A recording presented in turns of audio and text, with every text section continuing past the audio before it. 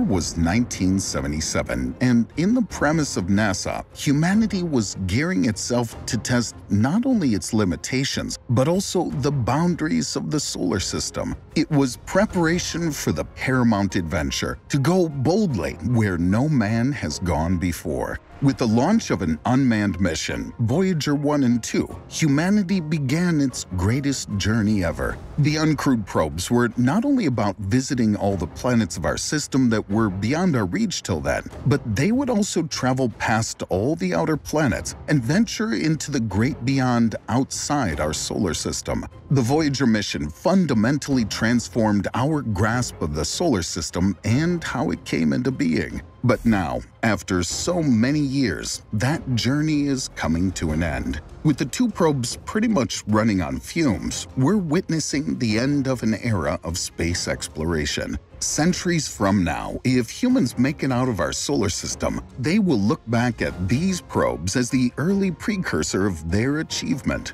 Welcome to Factnomenal, and today on the eve of Voyager 1 and 2's lifetime coming to an end, we're going to look back at their incredible journey and what they've achieved for us.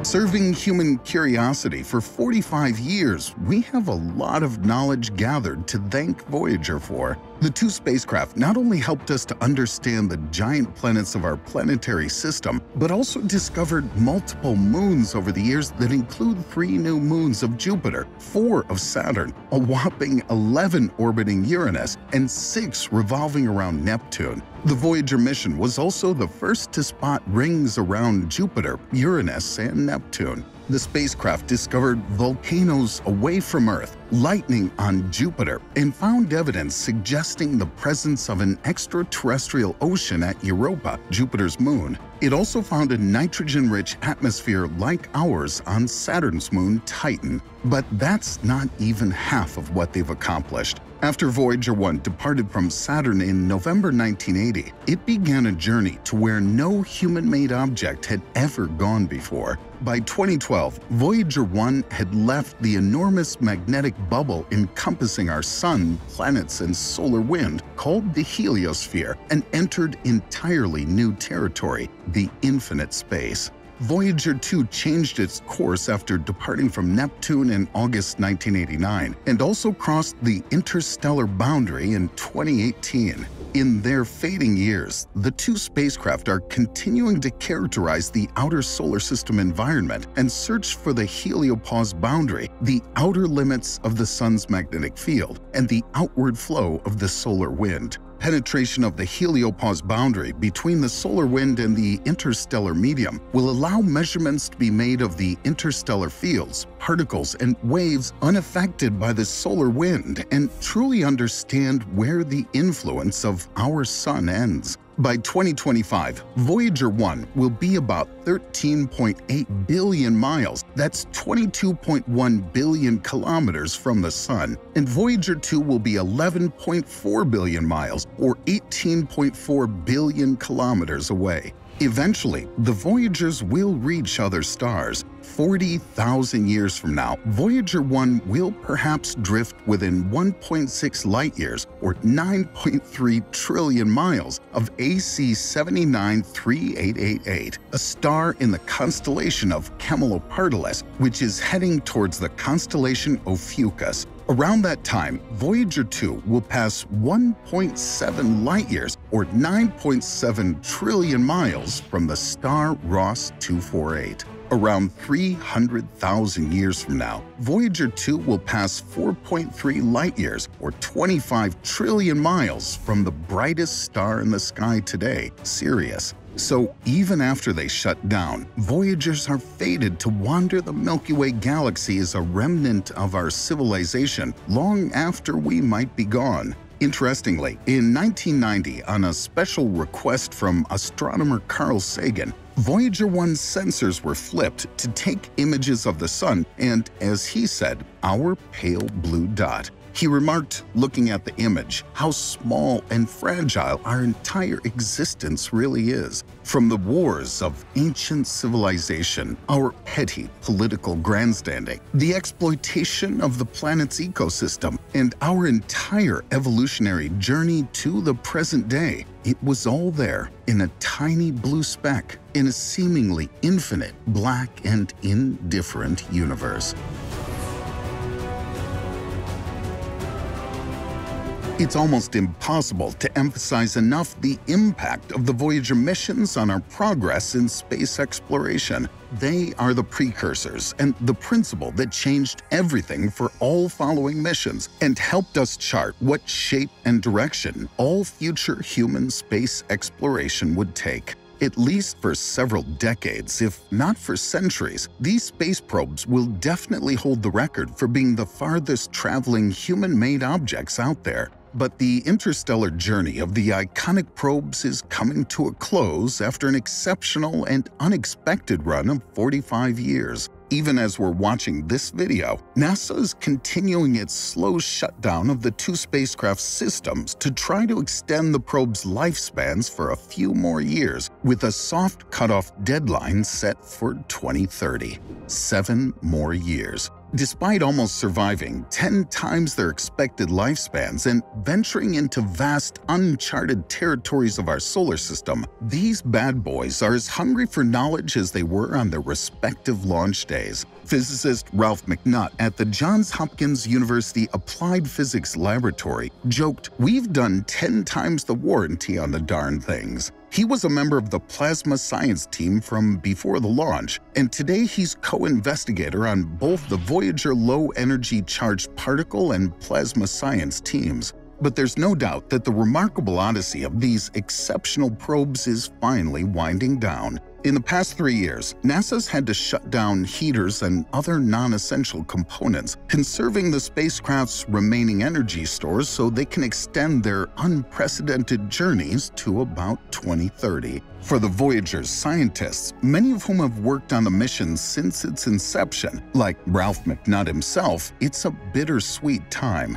The biggest challenge is to counter the decay of onboard power supplies, which is causing a reduction of their output by 4 watts per year. This has been the case since launch. However, now the power budget has reached a critical state, and the team has had to turn off whatever they can to keep the two spacecraft running and completing tasks. Both probes are powered with radioactive plutonium reactors, which have maintained a warm supply of power to the tiny onboard computers that have run for decades without a break. But every good thing must come to an end, and sadly, now the time has come for the Voyagers.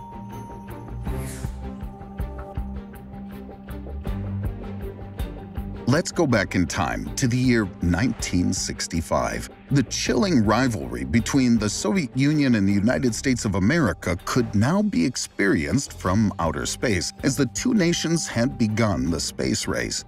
Gary Flandro, a part-timer at NASA's Jet Propulsion Laboratory in Pasadena, California, was tasked with an intriguing duty, finding the most efficient way to send a space probe to Jupiter, or perhaps even out to Saturn, Uranus, or Neptune. America wanted to reach the gas giants before the communists could. Gary Flandro had no calculator or computer at his disposal, but with only a pencil, he made a discovery that would change the course of human history forever. While charting the orbital paths of those giant planets, he saw something extraordinary happening during the late 70s and early 80s. Jupiter, Saturn, Uranus, and Neptune, all four behemoths of our planetary system, would line up like pearls strung up on a celestial necklace in a long arc with Earth. For us common people, it may not mean something more than just a cool once-in-a-lifetime spectacle, but for astronomers and NASA, this was a once-in-a-lifetime opportunity.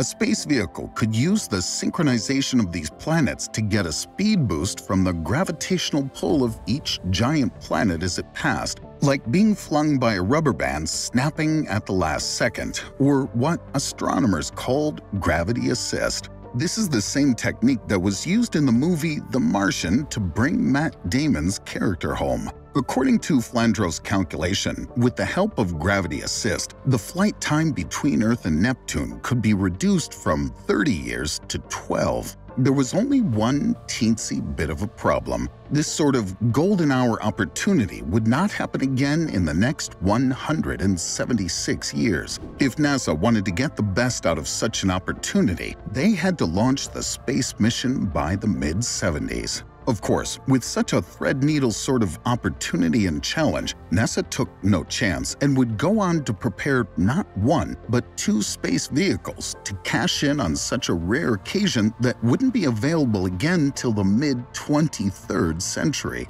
The two space probes, Voyager 1 and Voyager 2, were built identical in every detail, and in the summer of 77, NASA launched them within a gap of 15 days from Cape Canaveral, Florida. The Voyagers were originally designed only to conduct close-up studies of Jupiter and Saturn, Saturn's rings, and the larger moons of the two planets. Yup, it was supposed to be only a two-planet mission. In fact, nobody back then could have imagined these probes would spend nearly half a century in space and still keep sending data back home. The spacecraft were, in fact, built to last only five years. But both Voyagers surprised their makers with early success by accomplishing everything they were meant to do and still showing signs that they were hungry to keep pushing, striving for more knowledge. The additional flybys of the two outermost giant planets, Uranus and Neptune, seemed possible and tempting. The mission scientists and engineers at the Voyager's home could not resist.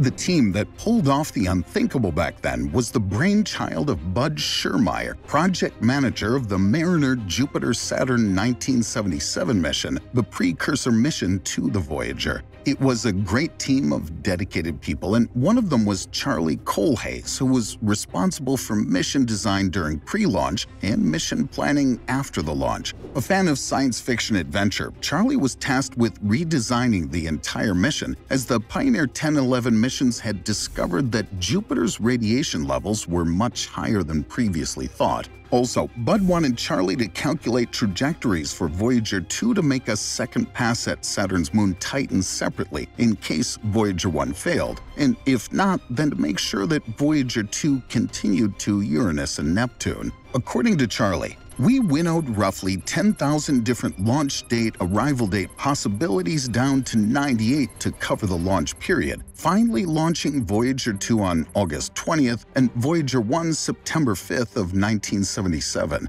That was the Goldilocks year for the launches, allowing us to have great encounters with Jupiter's Galilean moons, while also preserving the option to fly the Grand Tour onto Uranus and Neptune. Such a unique opportunity occurs every 176 years, so there won't be another chance until 2153.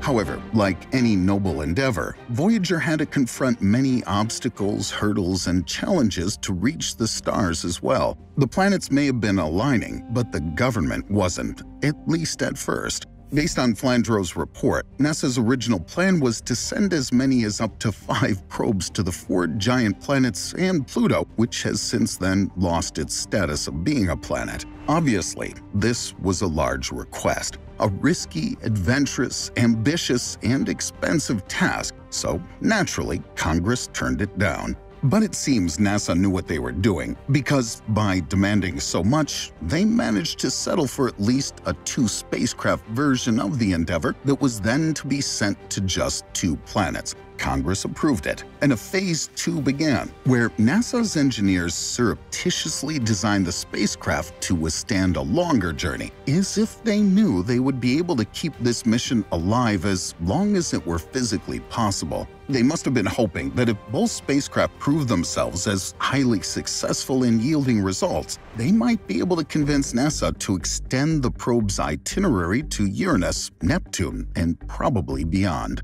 According to the current project manager of Voyager, Suzanne Dodd, who joined the team as Sequence Science Designer for Uranus and Sequence Integration Engineer for Neptune. If an engineer had a choice to put in a part that was 10% more expensive but wasn't something that was needed for a four year mission, they just went ahead and did that. And they wouldn't necessarily tell management. The job was to work with the science teams and help them design the observations they wanted to take during the encounter. Four of us were hired at the same time, and we shared a cubicle in a converted conference room on the fourth floor of Building 264 at the Jet Propulsion Lab. It wasn't the best office arrangement, but we didn't care. The work was very exciting. The veterans on the team had worked the Jupiter and Saturn encounters and told us stories of how exciting the encounter would be. It was a lot of work and long hours as we got closer to the flyby day, but no one minded it. It would be the first planetary encounter of Uranus, and we were making it happen. We were making history.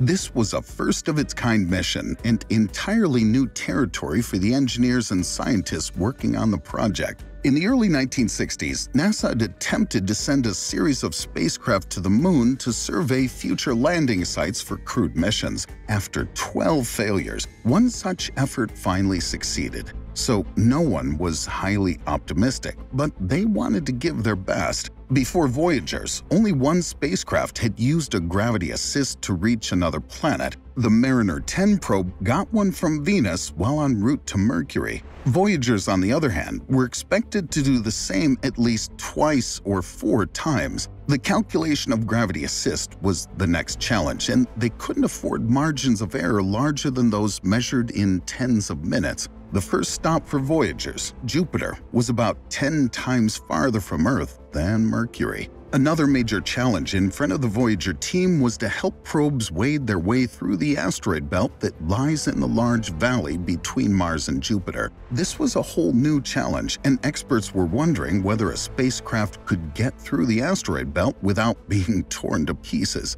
Interestingly, this turned out to be a baseless fear very early in the project, as Pioneer 10 and 11 flew through the belt unscathed. The belt turned out to be mostly empty space, so Voyager could easily steer through it. However, the two spacecraft needed onboard intelligence to make sure nothing wrong would happen to these Volkswagen Beetle-sized vehicles. So NASA's engineers equipped the vehicle's computers with 69 kilobytes of memory. This is less than a hundred thousandth the capacity of a typical modern smartphone. In fact, this is less memory than the key fob that opens a car door. But back then it was a huge deal. And look how far these probes traveled with so little. Well, you're ogling at fake pictures on Instagram. Tisk, tisk, tisk.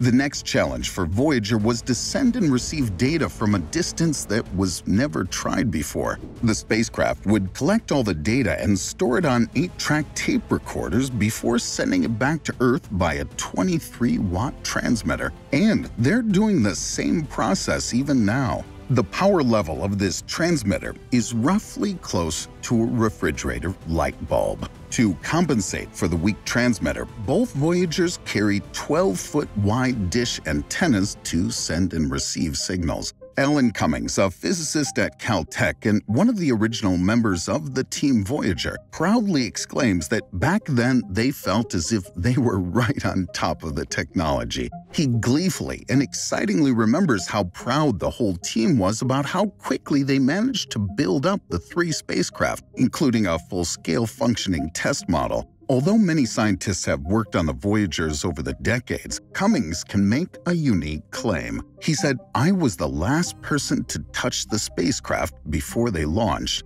My next memorable moment was when Voyager 1 encountered Jupiter, the first planetary encounter for either Voyager. Since Ed was the project scientist, I sometimes got to occupy the CRS chair at the table where the scientists gathered to discuss what discoveries were going to be presented at the press conference the next morning. I remember seeing the image of the moon Io for the first time and thinking that Caltech students had engineered a brilliant stunt. They must have substituted a picture of a poorly made pizza for the picture of Io. All that orange and black on Io changed our thinking about the moons in the solar system. I think most of us thought they would all look more or less like our own moon. But wow, how wrong was that? The discussion at the table about whether we were looking at an old or a new surface was fascinating and was put to rest a few days later with the stunning discovery of the volcanoes erupting in real time on Io.